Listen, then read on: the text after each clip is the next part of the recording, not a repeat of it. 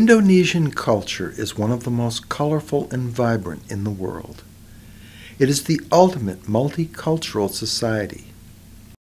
Because of its fortuitous location at the center of many of the trade routes in the ancient world, Java was visited by merchants from as far away as the Middle East and as close as the Malay Peninsula.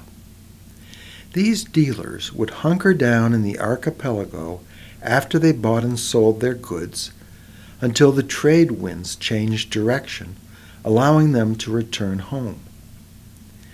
They had lots of leisure time to share their culture's songs, dances, and religious customs. Interweaved with the indigenous customs of Java and Bali, they created a rich potpourri of traditions many of which entered the culture permanently. Java and Bali are richly endowed in all of the arts music, dance, painting, drama, and batik. Everywhere on both islands, a love of beauty is visible. You cannot avoid seeing the colorful batik clothing worn by both the men and the women or hear the fluid tones of the gamelan orchestras playing in the theaters, at weddings, funerals, and other celebrations, or admire the extraordinary art on the walls of restaurants and hotels. The sounds of a gamelan orchestra are like no other music in the world. It is indigenous to Java and Bali these orchestras are characterized by percussion instruments. They appear at most festivals, dances, and puppet shows, as well as religious and royal ceremonies. The music is deep, rich, resonant, and moving. In Bali, the music of the barong, a dance like performance that features exotic costumes, is performed by a gamelan orchestra. The shows usually present a fight between a panther like creature, the Barong, who represents virtue, and the nasty demon queen called Rangda, who is evil.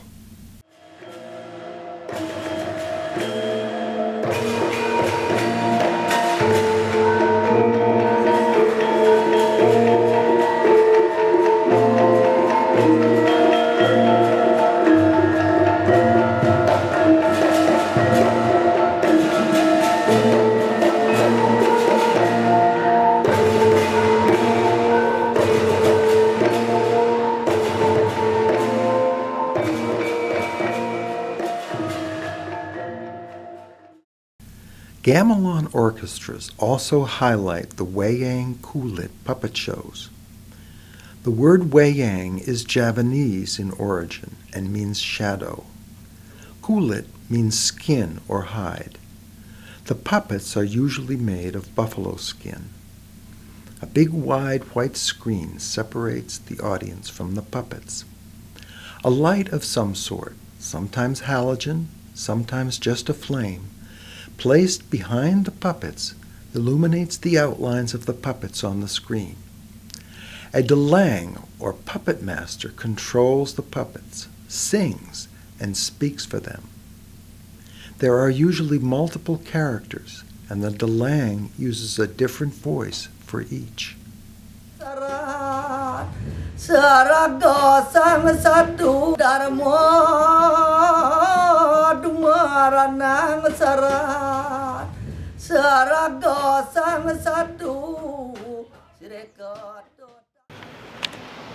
Oh, my son, I do not understand you very much. Why until now that you do not have any girlfriend, my son? To my father, Whenever you meet me, you always ask me about girlfriend. Please let me study, please. Oh, I know, I know.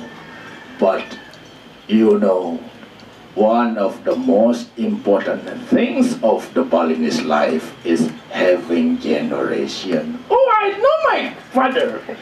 If you know, why don't you get a girl, my son? Okay, okay. But give me a time to study. I would like to study first, and then I would like to find a good job. After having a good job, I would like to find a nice girl for my wife. Otherwise, the people will say that I am not responsible for my car, for my father. Oh, you have a very good plan in your life, my son. Very often, the themes and stories come from two Hindu holy books the Mahabharata and the Ramayana. These stories are based on myths and legends, much like our fairy tales. There was a king who had a daughter, but no one would marry the princess because she was sick. So the king sent her to a lake where she could be cured. At the lake, there were some nymphs from Nirvana swimming. A monkey stole one of their pieces of clothing. The rest of the group returned to Nirvana, but she was not permitted entry because someone unholy had touched her clothes. The monkey approached her. She asked him for help in getting her clothing back. She said she would do anything he asked to get back her clothes. But a prince shows up and fights with the forces of evil who are keeping her from nirvana.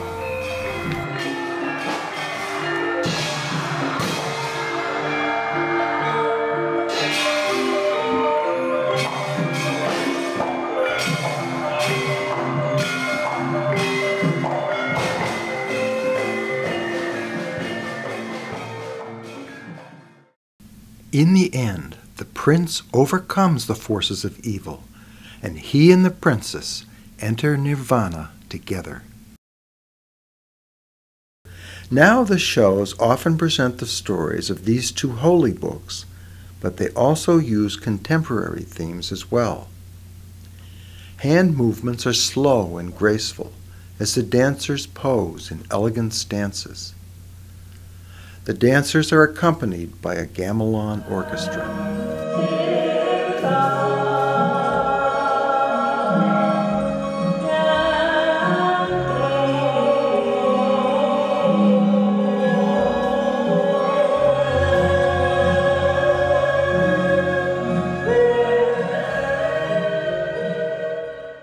A great deal of preparation goes into these performances.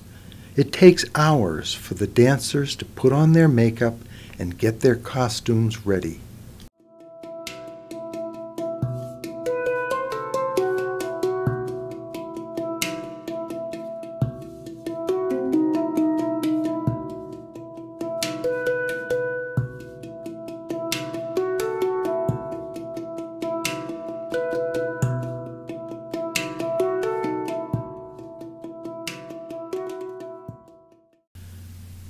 The fine arts are well represented in Java. You can find stone sculpture as early as the 9th century at the two mammoth temples Borobudur and Prambanan. Most of these sculptures are religious. Those at Borobudur are Buddhist, while at Prambanan they are Hindu. The sculptures do not all have religious themes, however, at either temple. Many represent everyday life in the 9th century in Java.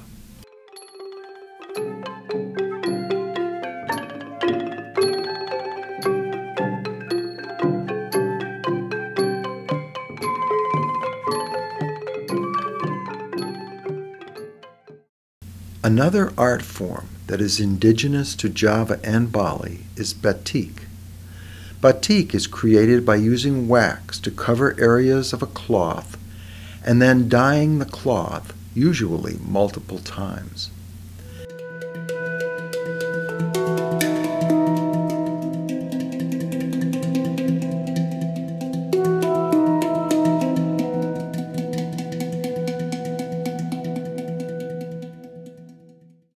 The wax-covered areas do not absorb the dye, while the exposed areas soak up the colors covering different areas with wax repeatedly and then dyeing the cloth with different colors creates breathtaking designs. They are used both as paintings and also as cloth for delightfully bright clothes.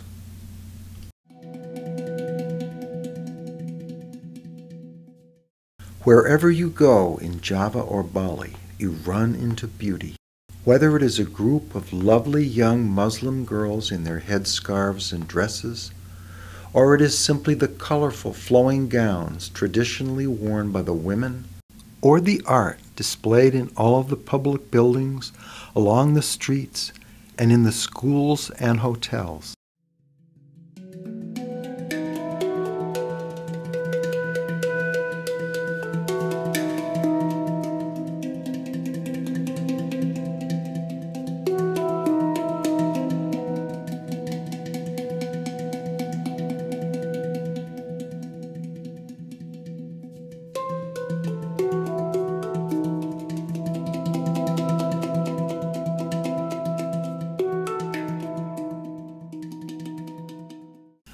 Beauty can also be found in the lively tones of gamelan music heard everywhere.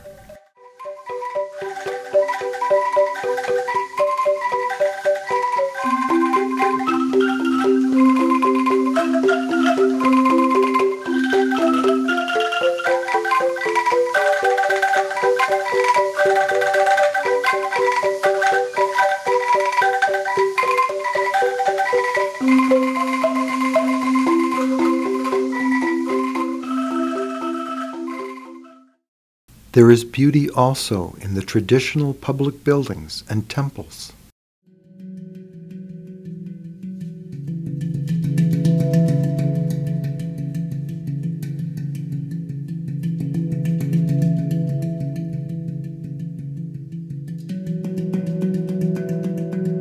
Beauty is everywhere. It represents the rich and deep ancient culture Java and Bali are places for the soul, places that make life worth living.